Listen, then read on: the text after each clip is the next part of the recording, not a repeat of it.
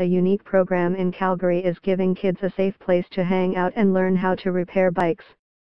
The Earn a Bike program is run by Two Wheel View. The motto of Two Wheel View is changing kids' lives from the seat of a bike. The nonprofit group runs a number of programs in Calgary, including the After School Bike Repair Project. It runs Thursday afternoons at the Two Wheel View Bike Shop in Sunalta, across from the LRT station. Being able to work with your hands on bikes and create relationships with others around you and being able to problem solve, these are all skills that are transferable into real life, said Robin Kabuno Siebertker, who helps run the Earn a Bike program. He said the program creates opportunities for young people to learn and practice lessons in leadership, health and wellness, self-esteem, achievement and environmental stewardship through their participation in bicycle education programs. Staff at Two Wheel View said their after-school programming is critical in the lives of youth, particularly those who may be vulnerable or are having challenges at home. It makes them feel comfortable to have an older person that isn't their parents or their teachers that is a positive mentor, Kabuno Siebertker said. The youths aged 1117 get their hands dirty doing some serious problem solving. I've learned how to adjust brakes and how to take the wheel off and how to exchange tires and how to adjust some things.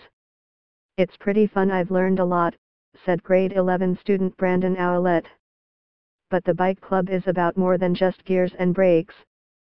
I've seen a lot of social and emotional improvements, Kabuno Siebertker said. Being able to recognize emotions, being able to problem solve through tough frustrating times, and being able to feel like they have community.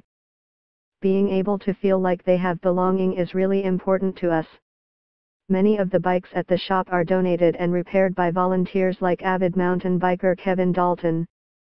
Since being laid off recently in Calgary, Dalton decided to put his passion for bikes to good use and now donates his time at Two Wheel View. The fact that you can fix a bike and it goes to a child who needs one, that's terrific. I thoroughly believe that there's not a lot that's wrong with the world that can't be fixed by going for a bike ride, Dalton said. It just changes your perspective. It's satisfying I view it as therapy. If I'm having a bad day, I jump on the bike and ride around for a while and I come back and it's not a bad day anymore. At the end of the Earn a Bike program, the kids get a bike of their own to keep.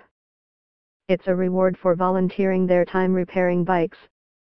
They get super excited and they're super stoked to get their new bikes and helmets and a lock.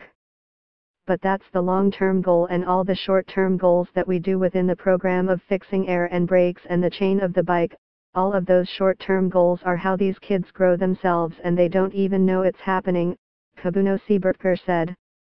Thousands of youth have gone through the two-wheel view bike programs in Calgary since it started 10 years ago.